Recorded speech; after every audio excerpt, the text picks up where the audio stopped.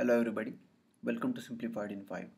Today we are going to talk about COM, which is quite an old technology, but you can still see a lot of COM in many of the Windows or Microsoft's uh, legacy applications that are currently uh, very widely used. So let's first see what is COM and see some of some of its definitions. So COM is basically an acronym for Component Object Model.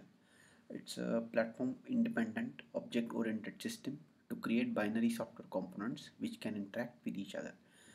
It's a software architecture which is used to build applications on top of binary software components. It is also a technique to share binary code across different applications and languages.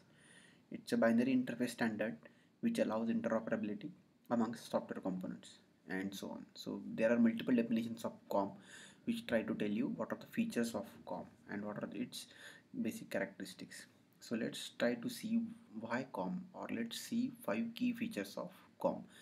Or you can say why com is still in use. We will try to look at uh, that through these features.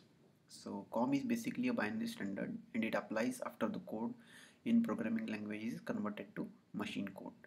So you can write applications in different languages adhering to com binary uh, com binary standard and they can communicate with each other. So another important feature is COM possesses a well-defined interface uh, which faces which are separate from their implementation. So that means component can be modified without changing the whole software because the dependency is on the binary interface and not on the implementation of that interface. Thus improved components can be used in place of the existing uh, without actually recompiling the whole solution. You just change the implementation and replace the component with better implementation so that's why com uh, gives you a uh, better versioning also. So let's see uh, another feature which is platform independency. So com is basically a platform independent technology and applications written in com can be used across uh, multiple platforms.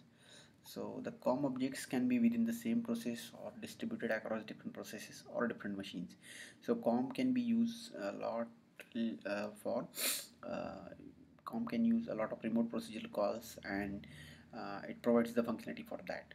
So you can use interprocess communication across such distributed objects and that is called as the uh, distributed com or dcom so these are basically the five key features of com and we also saw some of the definitions of com.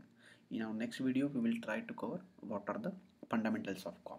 So thanks for watching and hope this helps